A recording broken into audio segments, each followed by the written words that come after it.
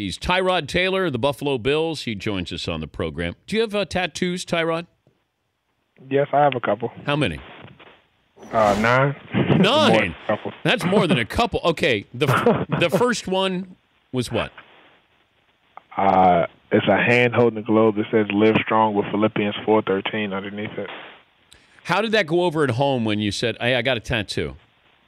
Uh, actually, at the place that I went to, um, actually, I had to get my parents to sign sign a uh, waiver for it.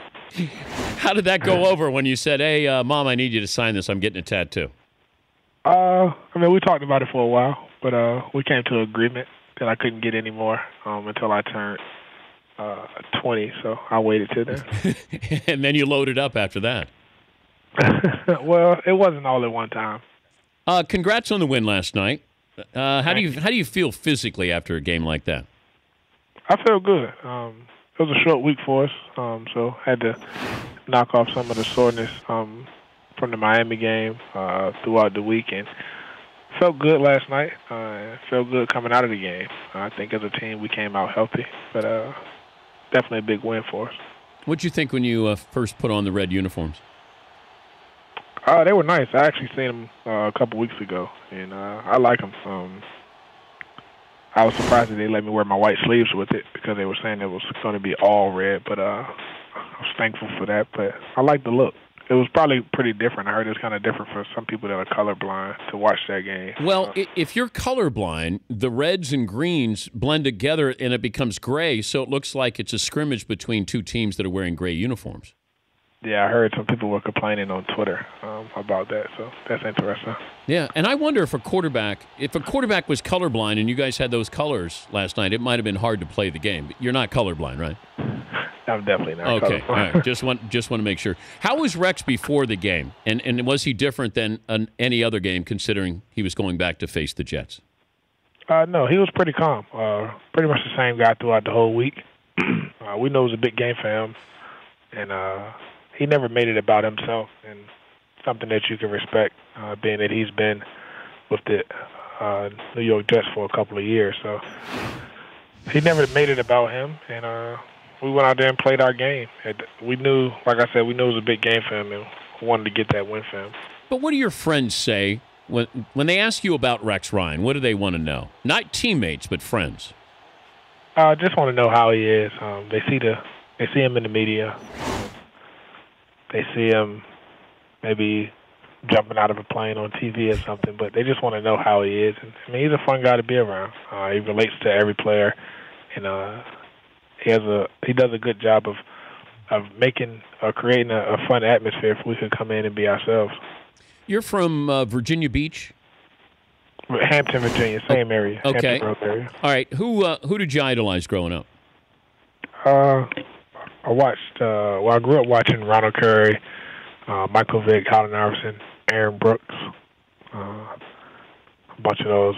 Did you see Vick or Iverson play? Uh, in Yes, I did. yes, I did. Okay, who was more amazing in high school? Or, Uh, actually, to be honest, Ronald Curry was probably the best uh, high school football player I've ever seen. Um, Vick was definitely very exciting to watch as well. Allen Iverson was, was very good, but uh, Ronald Curry, talking about a guy that had 100 touchdowns in one year, so that's what, what did he go to Carolina? Yeah, he went to Carolina. He's now coaching receivers for the San Francisco 49ers. But did you model your game more after Curry than you did Michael Vick as a quarterback?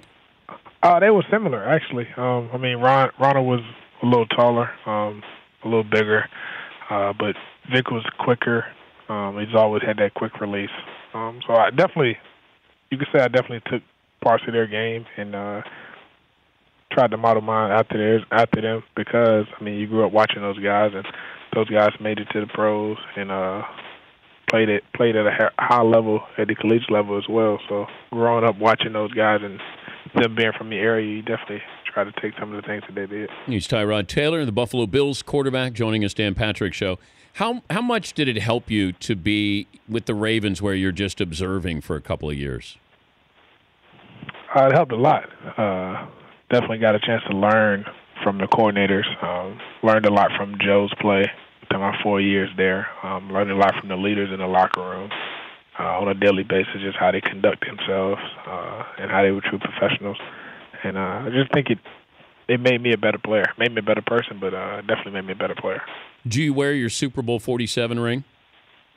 No, I don't. I actually keep it back home at my mom's house. Uh, I don't think I've ever actually wore it to a function, but uh, it's definitely it's definitely nice to look at. Uh, you want to get more. I'm definitely fortunate that I, that I have that one, but uh, the goal is to get more. Does mom show it off? Nah, she doesn't show it off. Mom's pretty low key. Really? yeah. Come on. I, I, The I thing mean, costs a lot, man. She can't lose that ring. hey, uh, congrats on the season so far, and uh, we appreciate you joining us. Thank you, Tyrod. Oh, no problem. Thank you. All right, Tyrod Taylor, Buffalo Bills quarterback.